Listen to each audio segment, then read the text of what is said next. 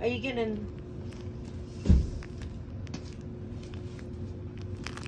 like the new Christmas toy?